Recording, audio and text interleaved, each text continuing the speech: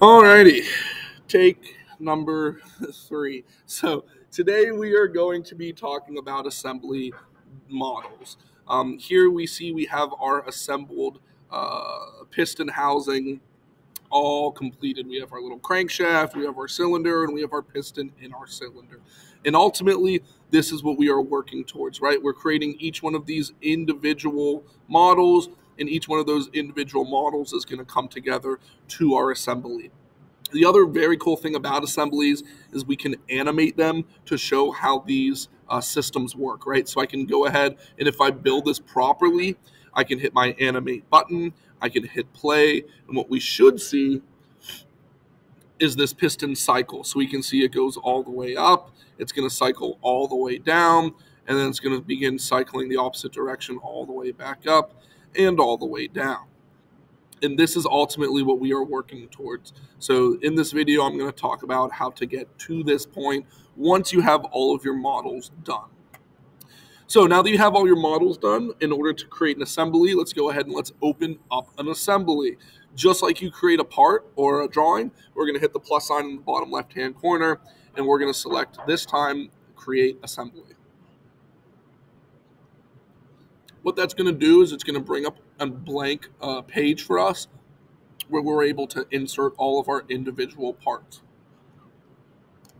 So let's go up top to insert. And in there, you should see all the parts for your piston assembly.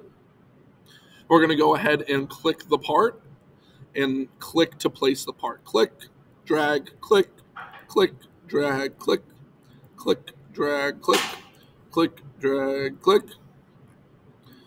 Click it, bring it out, and then there are two others, the cap, and the piston. Great. So now I have every component and hit the green check mark. Now I have every component needed uh, to create my assembly. So up top here, you're going to see we have a bunch of different mates, and all of these different mates are going to be used to help uh, fasten our assembly. Now, depending on how you want your assembly to operate, depends on how you are going to fasten it.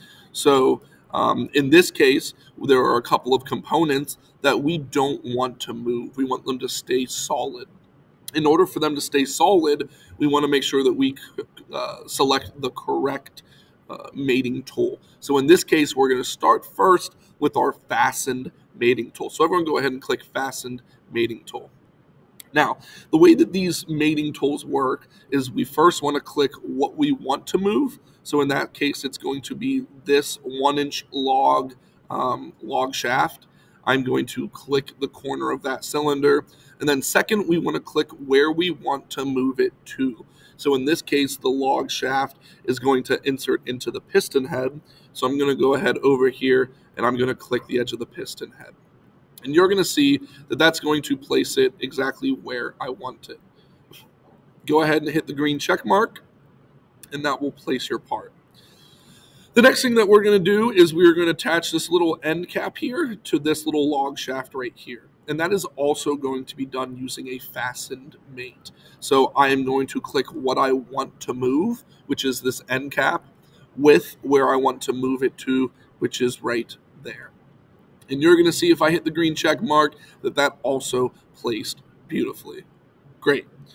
So I am going to click away from our fastened mate because the next mate that we're going to use is actually a revolute mate. These revolute mates are used uh, in parts that need to rotate or spin. So this being a piston or a piston assembly, there are a lot of, I would say, spinning or moving parts, right? So the first thing that we're going to attach is this shaft into this hole. Um, in order to do that, I am going to go ahead and I am going to click my Revolute Mate. And in this case, we are putting the longer end of the shaft through. So I am going to click first what I want to move, and then I am going to click where I want to move it. So I'm going to click right there. Now, one thing you're going to notice is that it entered in the wrong direction, and that's super easy to fix just by clicking flip primary axis. And you can see that that corrected it, and I can hit my green check mark to place it. The next thing that I'm going to do is actually not a revolute, but it is a fastened mate. This crank right here, a part of the crankshaft, uh, is actually solid and does not move. It is physically attached to this piece right here. So what I'm going to do is I'm going to select the fastened mate. I'm going to click the part that I want to move, and I'm going to click where I want to move it to. So I'll click right there. I'll hit flip primary axis so it's pointing the correct direction, and then I'll hit my green check mark. Good. Good. The next part that we are going to place is going to be this part right here with the cap, and this is going to be done using a revolute mate as it does need to spin. So what I'm going to do is I'm going to click what I want to move, which is that, and I'm going to click where I want to move it, which is right there. And I'm going to flip the axis so that it is pointing the correct direction. You're going to notice that the end cap is not currently here, but as soon as I hit that green check mark, it is going to place that for me. All right, the next part that we're going to place is going to be this part of the crankshaft. And we're going to be using a revolute mate to do this. So I'm going to go ahead and I'm going to click what I want to move. And I'm going to click where I want to move it to. I'm going to flip my primary axis. Oops, oops. Sorry. Revolute mate. I'll click what I want to move and where I want to move it. Sorry, I clicked that wrong. Perfect. So now we have that Revolute mate set and we can hit the green check to place that. There is more or less one final thing, one final piece to the puzzle, and that is the actual piston head. So we're going to start first with a Revolute to get it attached to this crank, and then we're going to use a slider mate to get it um, attached into the cylinder. So the first thing I'm going to do is I'm going to go ahead and I'm going to click what I want to move, which is the piston. I'll click right there and I'm going to click where I want to move it to, which is right there. I'm going to flip the axis so it is in the correct direction. We see once again that the log is sitting out here, but as soon as we hit the green check, it's going to find its final home.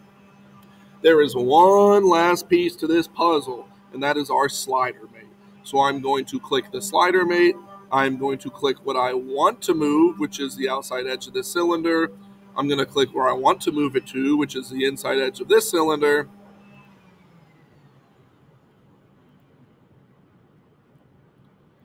Oops. Oops. Oops.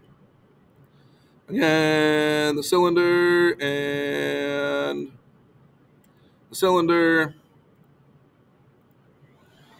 And that is going to place everything together for me. So once I hit that green check, it will set everything in stone. So here you can see we have our finished assembly, but there's really only one way to tell if we put it together correctly.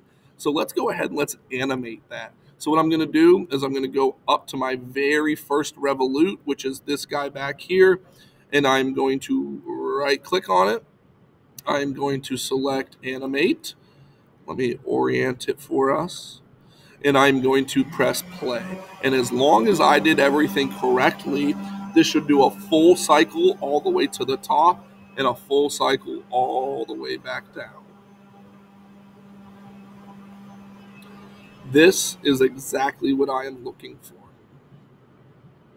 Once you have this assembly created, you are able to go ahead and create your assembly drawing, which is simply going to be um, your assembly front, top, side, and isometric view.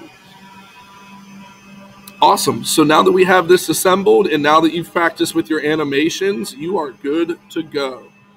Until next time.